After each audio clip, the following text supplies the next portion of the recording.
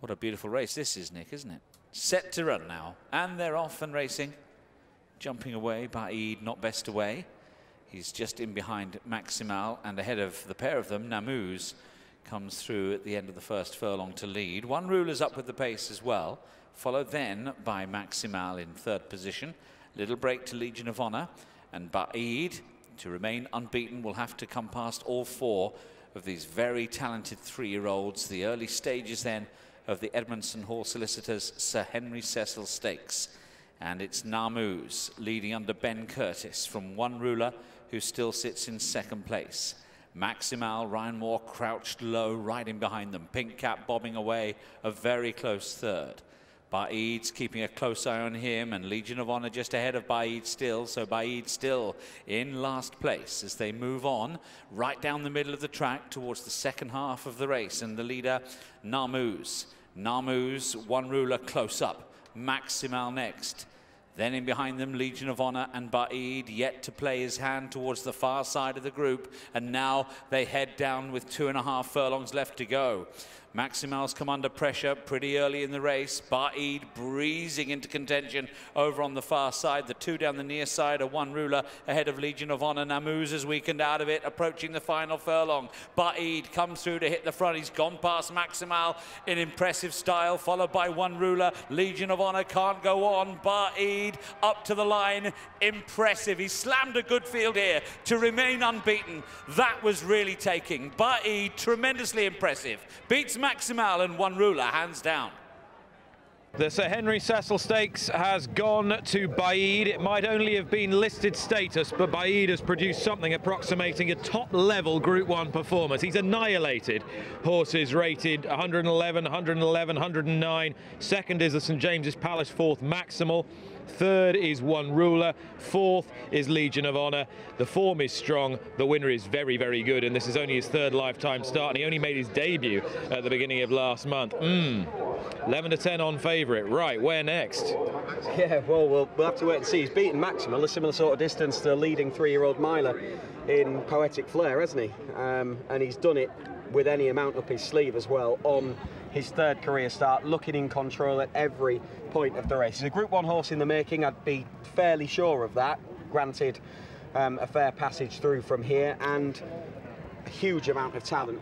What steps do they decide to take with him? Because he's only won a listed race here, so they, they can take smaller steps should they wish, but if you wanted someone to plod away through the programme book and develop a horse, then he's in the right hands. Yeah, he is, but he's actually come through the ranks more briskly than a lot of horses from this stable. And William Haggas is um, notably circumspect with the way he campaigns horses such as him. I There's something else to point out pedigree-wise here, Chris. Even though there is speed in the dam side of the pedigree, he's a Sea the Stars brother to Hukum, who's a middle distance horse. Yeah, ran very well in the in the Hardwicke the other day.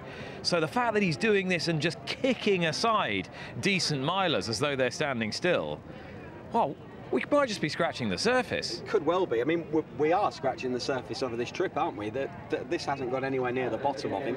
Um, and he's, uh, he, you know, Ma Maximal has um,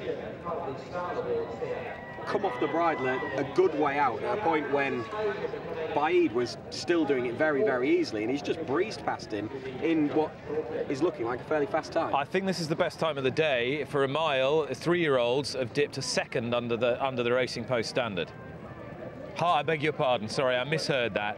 Half a second. I did think a second was was going some, but um, he's done it. Still, it's a very good time and a very smooth performance. I mean, Maximal's a really good horse, and he's flat out here, and he's just breezed past him. I just worried. Uh, for half a stride, just after halfway, I wondered whether Baaeed was just finding the ground a little quick for his liking, but he's got so much class. Yeah, tremendous amount of class, and he's an extremely exciting prospect, isn't he? You know, we, we said beforehand that there was a, a, a possibility that that was the kind of horse he was going to be, and you needed to see him produce this kind of performance for that to be the case, really. And he's produced a performance yeah. just so superior to some very good horses, and he's kicked them aside in the manner of a, a, a top-level horse, doing it with a little experience, only two previous starts at a lower level behind him. I think the beauty, the beauty of high-class flat racing in the height of summer is that we can get a bit of really, really disappointing, disheartening news, like the piece of news we got about Subjectivist before the race. But then no sooner have we digested that than we see a horse that can excite us you know, to the to the same, if not a greater extent. And, and in, in Baaeed, we've certainly got that.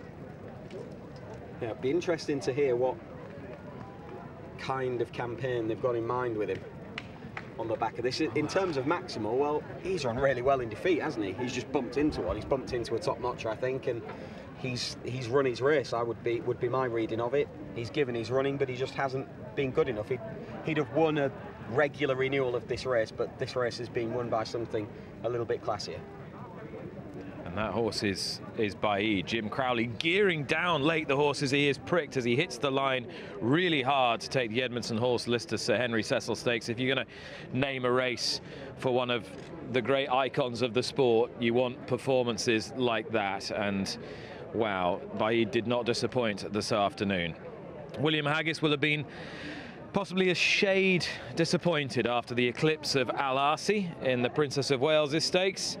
Uh, I'll be interested to hear what he made of that, but I'll be more interested to hear of his plans for this horse, another brilliantly talented colt by Sea the Stars. William Haggas is delighted with Baaeed, who's just won the Henry Cecil with Jim Crowley on board and beaten now in three starts. This is a very, very good horse, isn't it? He looks very talented, yeah. All the time people told me after his second run and his first one that he's a good horse. And so we ran him here, which was a bit quick back to see if he was a good horse, and he looks it. Thank yes. God. I mean, the way he went through that race. Yeah, you know, he he held him up a bit, and he showed a good turn of foot, and he's quicker than his brother. Uh, his Hukum. Yeah, who's a good horse. Yeah. Yeah, uh, I'll come back to, to that, that line of things. Where might you go next with him? I don't know. The the obvious race is the Group Three race at Goodwood, but um, that's not very long, and that'll be four races in two months. You know, he's a young horse. He's a he's got a career in front of him, and I don't want to milk him too early. So I, I just talk to Angus, and and we'll we'll make a plan, but there'll be no rush. Okay, so the thoroughbred stakes maybe just if you're happy with him, but that may be too much yeah, too soon. I mean that's the obvious race. Yes, of course. But I'm not saying it's too much too soon, but I think it's another race and I, I, I, think we need to space his races out. You know, probably three more maximum this year. Uh, you know, and if he's going to have a good four-year-old career, he he needs to be looked after as well as raced. Something like the Celebration Mile. I put him in. Mm. I think he closed on Tuesday. Mm -hmm. He's in. That's a possibility. Lots of possibilities. He'll he, get he'll get entries in every smart race from now on. Group ones as well. I think so. I think you'd be justified to, Absolutely. wouldn't you?